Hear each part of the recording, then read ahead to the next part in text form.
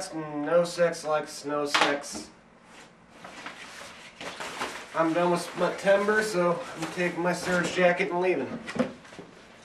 Hey, Marky, since this year was a leap year, that means you get to do another Smuttember episode. Another movie? Something,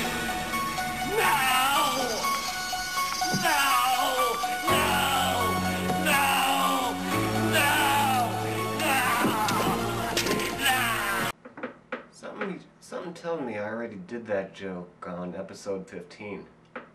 Yep. And the sorority babes and the dance-a-thon of death, you did the same joke. Okay. I need a different reaction then. In touch with the ground, I'm lost and I'm found. I'm on the hunt, I'm after you. Smell like a sound, discourse and ground. And I'm hungry like the wolf. Straddle the line in discourse and rhyme. I'm on the hunt, I'm after you. Straddle the line, discourse and rhyme. And I'm hungry like the wolf.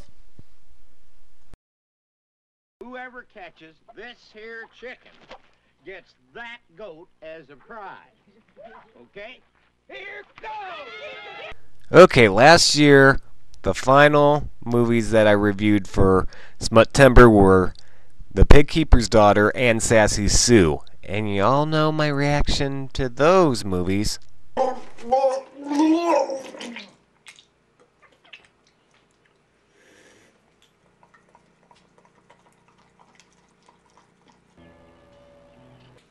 Think both these movies gave my eyes syphilis. You know, just watching both these movies just kind of made me feel dirty. I gotta do something about it.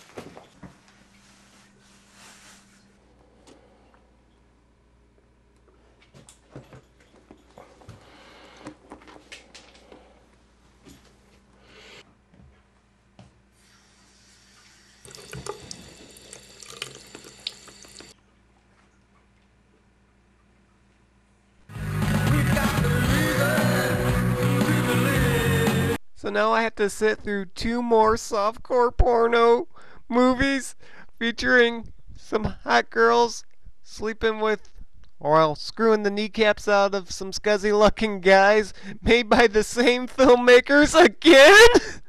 well, at least they're not hardcore pornos, so there won't be any penetration. But if I was you, I'd turn around right here now.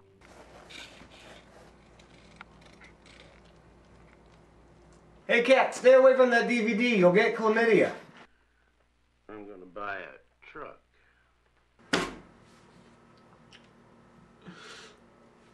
Let's start with Midnight Plowboy first. It's about a country guy who uh, comes to Los Angeles and That's just a plain ordinary elevator. Well, it might be an elevator, but when it gets to the top, then people's gonna be dumped into the silo. Buck Adams looks Look, confused. Uh, Fran, don't uh, don't you worry about that. Uh, we'll take care of that. Now you just uh, move on. and he works at a horror house. He's gonna live with us, you know, and he's never been to a cat house before. no boy.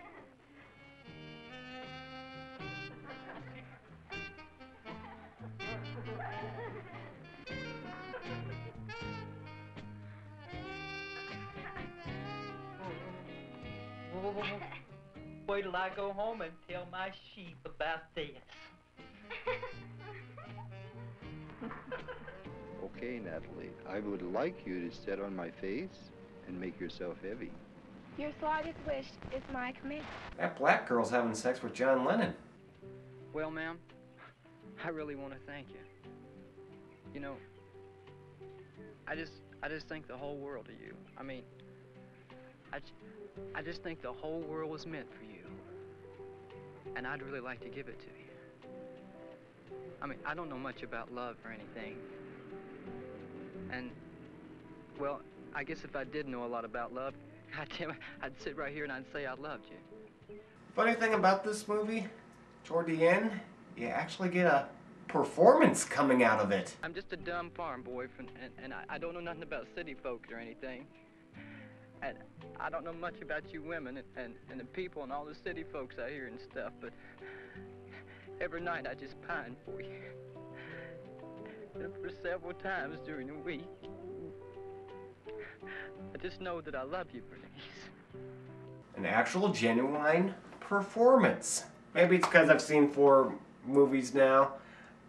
I kind of get the idea of how things are going. I start to see the alter um, perspective going on from Buckalew Bethel. Yeah, like that's his real name. Um, directing and Harry Novak's producing and John Tull's performance. Um, I start, you know, I get familiar with it so I can understand it. So it wasn't as bad watching Midnight Plowboy as much as the other ones. Have a nice nap. Yeah. Where's all the girls? They're in the back visiting. Had no customers. This guy still got to have sex in the movie. The same guy has sex with this chick in Country Cuzzins.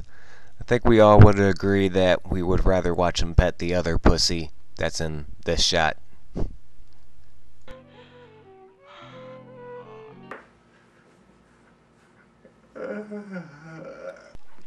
So, Country Cuzzins is about a country family that lives in the deep south of the Hollywood Hills.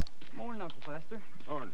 I mean, yeah, that's Los Angeles. Los Angeles. It plays off as a one note Beverly Hillbillies type thing. You know, a rich cousin comes in and deals with the people, and, you know, they're from the country. Fester, I want you to make all our kinfolk comfortable when they get here. There's lots of room in the barn for them that wants to stay overnight. Now mind that pig don't fall out. they get a cousin who's more high society, and so she's trying to make fun of him, and uh, she ends up having a good time because she drinks moonshine, and uh, so she invites him to their to her house in Los Angeles, which is, you know, just down the block, and uh, they go there and they kind of show her up because they dress up all nice and you know fancy. They don't get all country, and uh, they get along really well with everyone in the party. Introduce myself. My name is Walter Wimpy, and I just happen to be a personal manager. Oh, great! George Buck Flowers in this. What's, what's, what's a personal manager? Well, that's somebody who manages you personally. Uh, why don't we uh, go someplace where we can uh, talk it over, where there's not so much noise? Mhm. Everyone is so nice in the city. George Buck a really cool character actor. You might know him from, uh, well, he was the bum in uh, Back to the Future. He was in Taking It All Off. He was in, uh, he, he was in uh, They Live. Uh, you know, he was in The Wilderness Family. Movies. And, you know, you see him, you go, all right, it's that guy. And then in this movie, you see his boss. No, no, no. No, no, please.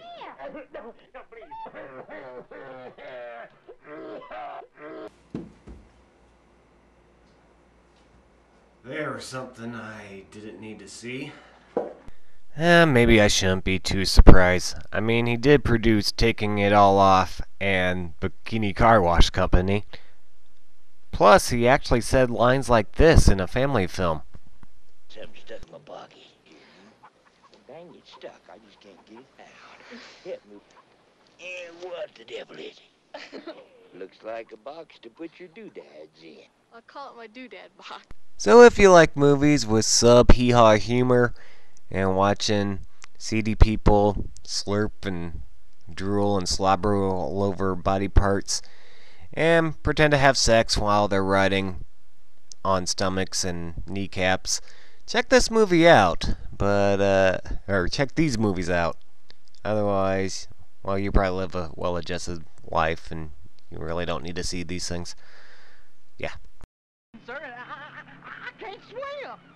Ah, no. told you. Uh, what? I told you, Chick, Will. How long have you?